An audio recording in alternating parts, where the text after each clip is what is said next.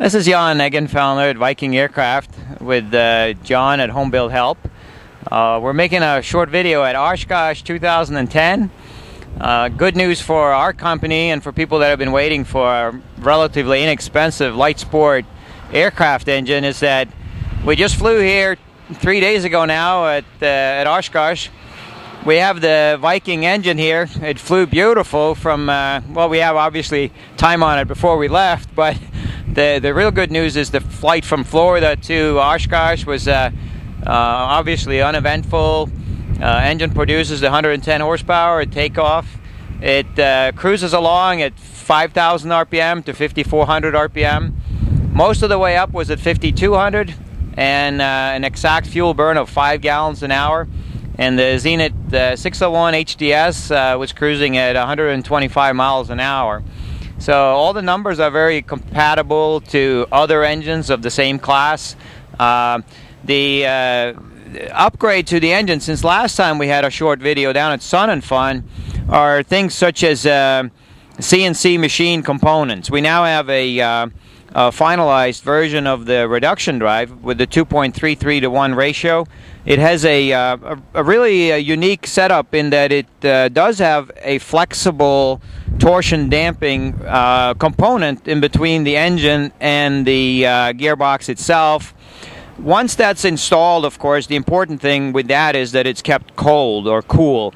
The flywheel has been machined as an impeller. It sucks air in from the surrounding area and it cools down the damper assembly as well as the gearbox itself being hollow on the backside and having fairly thin wall thickness. The, the amazing thing is for people you know, for people that know about motorcycles or gearboxes and realize that the gearbox is only as good or the bearings and shafts are only as good as the alignment of the components the way they're installed when the unit is at operating temperature and with this fan built into the flywheel the in-flight temperature of the gearbox is less than 130 degrees which is just slightly above what you can feel with your hand so uh, obviously, the gearbox is producing heat when it's running, but it's cool, being cooled equally well from the back, uh, removing the same heat.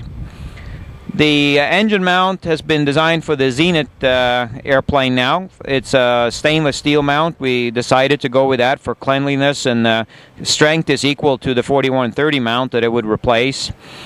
The uh, coolant tank is part of the engine. It's up here with a sight gauge on it. It has a water uh, um, water pump right behind it with an alternator. As far as completion, as far as completion on the uh, on the engine, this engine is now production ready.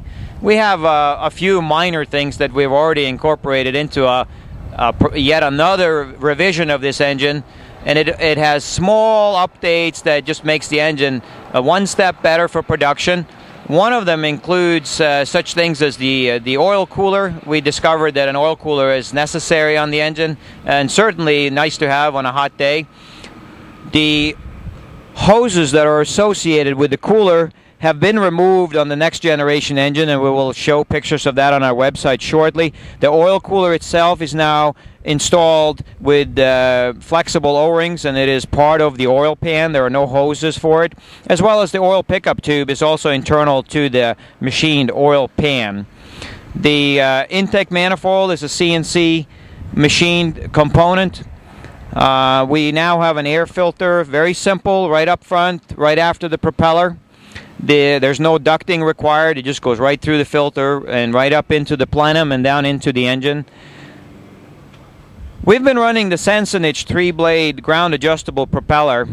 Um, it comes with uh, six different adjustment pins. We've been running uh, the courses adjustment that we that we uh, were allowed to set. We're using these uh, supplied adjustments pins, and we have a 68-inch uh, propeller at the maximum pitch, and we're still turning it uh, over 5,000 RPM. So there's no question that we're not uh, that we are or are not making horsepower, which is a good news. We have uh, an engine that runs quiet. It now has a dual stage exhaust system. Uh, it's a very lightweight 321 stainless steel dual chamber muffler uh, with a built-in exit pipe. The uh, coils are from Honda. They're right on the spark plugs. The ECU or the computer that operates the engine is a dual unit where you have, just as in a magneto powered airplane, you have a, um, a left and a right, and you can double check that on, on takeoff or prior to takeoff. The engine is now in a flyable condition, like what we promised when we were at Sun and Fun, that we would go one step further and now have a uh, close to production ready engine. We're taking orders. The deliveries are going to be in December for these first orders. I'm flying the engine every day now. It's a fantastic engine. It has uh, all the things that we wanted. It cools properly. It's got good power, and uh, sounds just like a 912 as far as sound. So um, get with it.